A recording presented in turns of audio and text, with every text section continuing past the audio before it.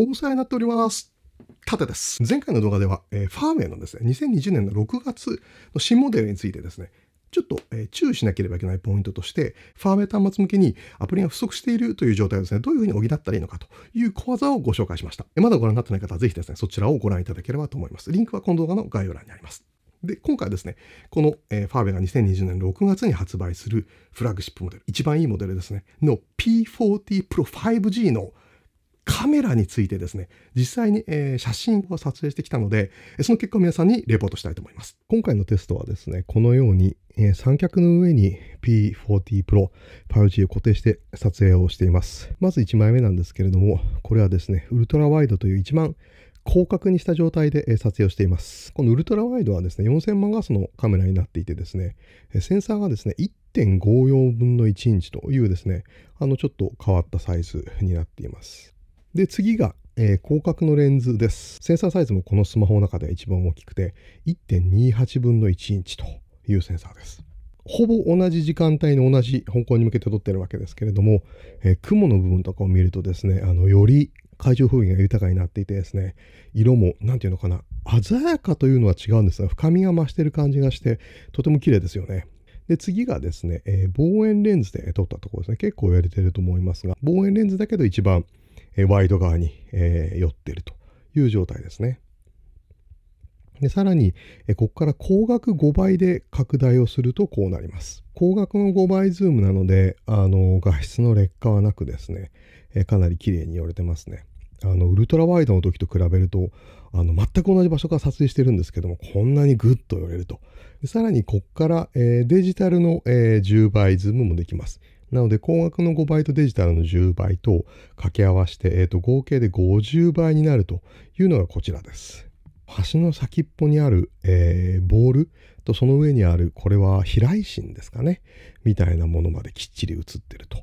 でもさすがにデジタルズームなので画質の劣化はあります。ありますが、あの、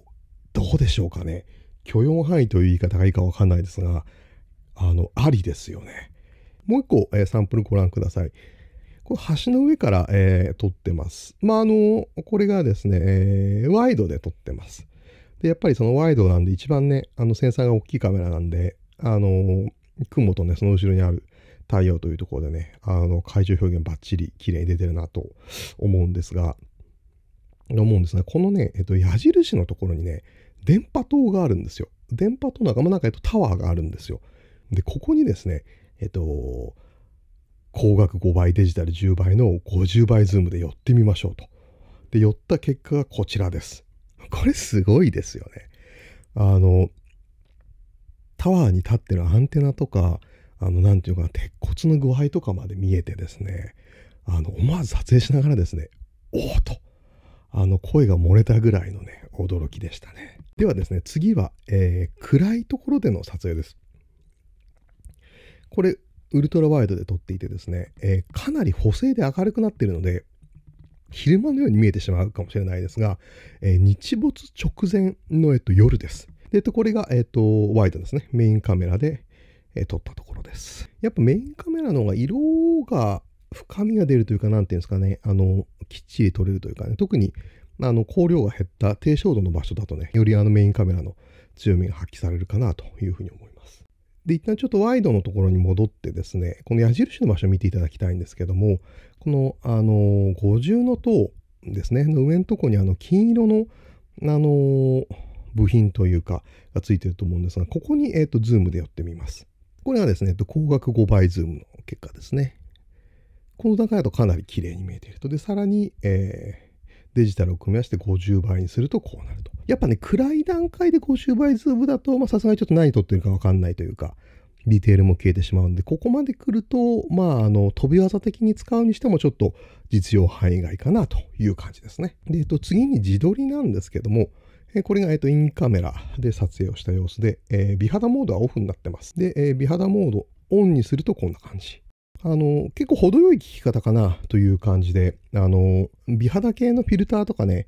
あの、きつくかかりすぎるのがあって、もうもはや人間じゃないだろうというぐらいの勢いでですね、補正をかけてくる、えー、アプリとかカメラもありますが、まあそこそこ自然かなというふうに思います。あの、頬のとこにあるね、シミとかシワの感じをよく注目してみるとですね、滑らかになっているのがわかりますね。えー、次もまた、えー、メインのカメラに戻って見ていきましょうか。これ、えっと、夜のですね、えー、ウルトラワイドですね。で、これ手持ちで夜撮ってるんですけど、かなり、えっと、この場所暗いです。が、これはね、非常に綺麗に撮れてますよね。あの、水の流れが、えっと、微妙にブレてることでもお分かりいただけると思うんですが、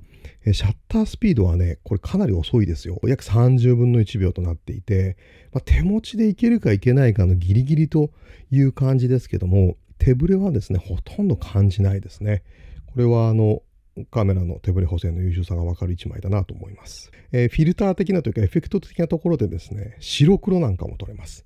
パキッというコントラストが強いですね、えー、写真になっていますね。こういう雰囲気もかっこいいですよね。で、えー、次、こちらがですね、えハイレゾモードです。え通常の撮影だと、え写真のサイズが 4000×3000 ぐらいのサイズなんですが、え倍になります。ちょっとこのサイズだと分かりづらいので、ズームしてみるんですが、ここまで思いっきり寄ってもですね、かなり鮮明に見えると。え、ー、と、屋根というんですかね、建物の屋根の模様もしっかり見えると。いうことでね、ハイレゾショットもね、強烈ですよね。さあ、というわけで、えー、一通りですね、ファーウェイの P40 Pro 5G の、え、カメラをですね、テスト撮影の結果をご覧いただきました。やっぱりね、カメラ機能強いですね。すごいすごいとは聞いてましたが、実際に撮ってみるとね、びっくりしました。これ完全にあの私の個人的な願望ですけど、ね、ファーウェイさんカメラ作ろうよ。あのね、マイクロフォーサーズとか、フルサイズ、まあ、フルサイズまでは言わない。マイクロフォーサーズのセンサー積んだカメラというかね、スマホみたいなものとかね、ファーウェイから出たらね、めちゃめちゃテンション上がりますよね。ノイズリダクションとか、あの画素合成とか、あと背景に映り込んじゃった人をね、あの消去する技術とかもあるわけで、そういったものがカメラになったらね、めちゃめちゃテンション上がりますけどね。ファーウェイさんお願いします。やりましょう。やりましょうって言われても困ると思うけど。というわけで、ファーウェイの P40 Pro 5G のカメラ機能のレポートでした。この動画の内容が気に入っていただけた方は、ぜひ評価をお願いします。そしてまたの方はチャンネル登録をお忘れなく。すでにご登録いただいている方は、ぜひベルアイコンをタップして通知をオンにしてください。動画が更新されるとですね、毎回お知らせがいきますので、見逃しがありません。あともう一つ、このチャンネルの他に、旅ブログやですね、カメラのレビューなんかを公開している Vlog のチャンネルがあります。ぜひそちらもチャンネル登録と通知のオンをお願いします。あと、えー、Twitter や Instagram、TikTok なんかのソーシャルメディアでも情報発信をしていますので、ぜひそちらもフォローしていただけたらと思います。リンクトゥリーという URL で、えー、この動画の概要欄に一覧がありますので、そちらをご覧ください。今回もご視聴ありがとうございました。皆さんまた次の動画でお会いしましょう。バイヤー